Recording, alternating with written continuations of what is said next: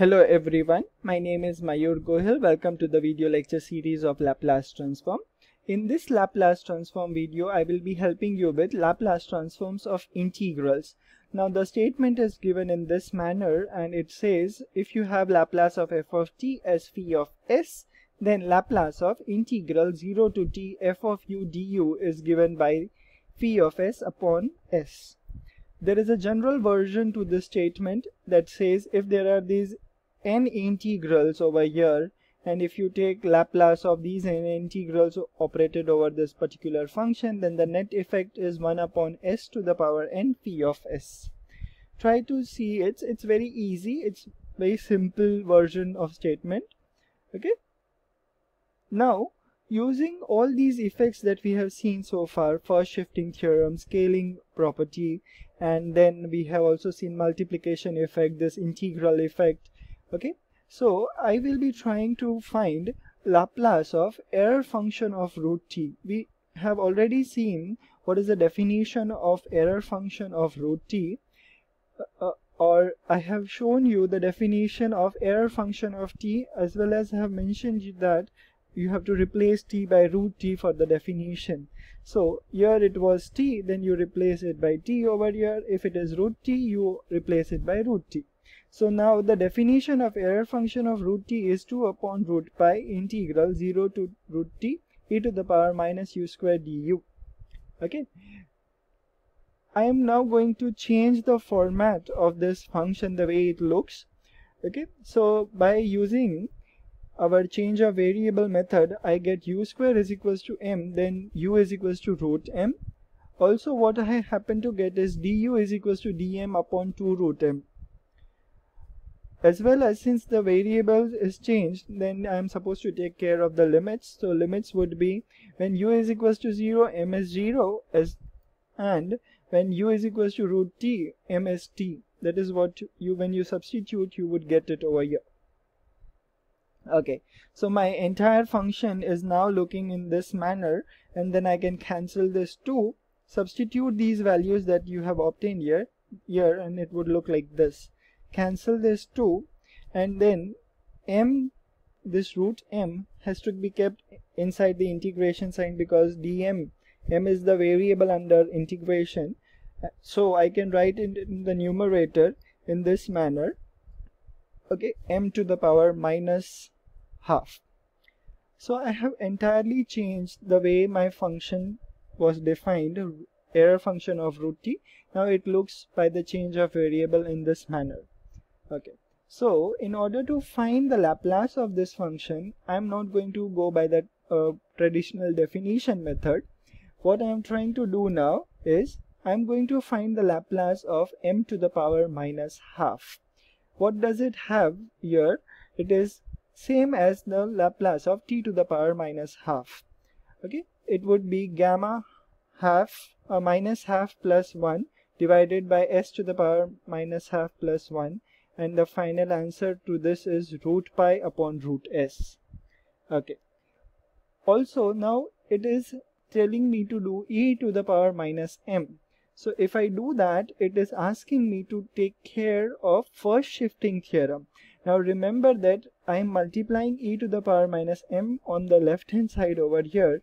So immediately on the right hand side I am supposed to write the effect of first shifting theorem. So that means I should do root of pi divided by root of s plus 1 immediately. This is due to first shifting theorem.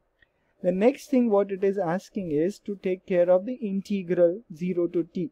Now integral 0 to t when I do on the, immediately on the right hand side I am supposed to take care of the integration effect that I just mentioned in my previous slide. It was multiplying the Laplace by 1 upon s so I have multiplied it by 1 upon s over here in the okay? So after this what it is asking me to multiply is 1 upon root pi.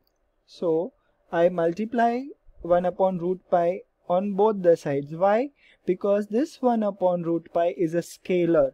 So scalar is allowed to be multiplied but not such effect of integral or a function okay so you have to be careful with all these terms. And now when I multiply here 1 by root pi on RHS I happen to see that this root pi gets cancelled. And I am only left out with 1 upon s times s uh, square root of s plus 1 so finally what do I have is my if I see here this entire term on the left hand side is nothing but the error function of root t.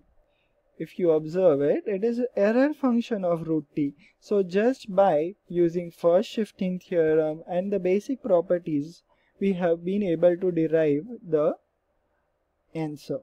So finally what do I have here is error function Laplace of error function of root t is 1 upon s times square root of s plus 1 and we are done.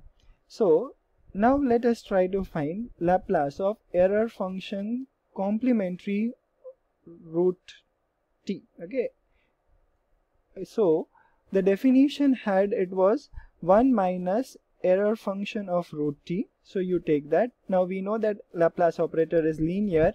So take the Laplace of each of the term simplify it solve it little bit with some simplifications of algebra and you get your final answer as 1 upon square root of s plus 1 times square root of s plus 1 plus 1 oh, it's a big term.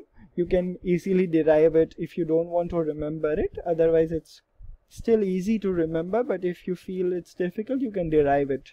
You can remember this.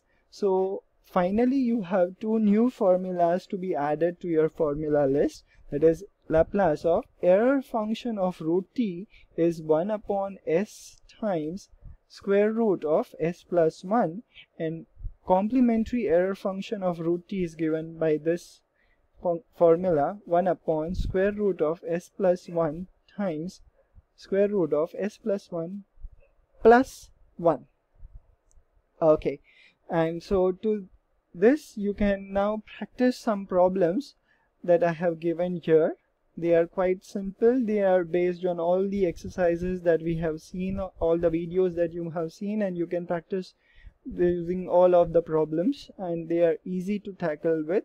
This function is also we have just dealt right now and I hope it is easy for you to solve and you can tackle. If you have any doubts related to these questions or any other you can post it you can comment it and I'll soon help you out on those. So till then thank you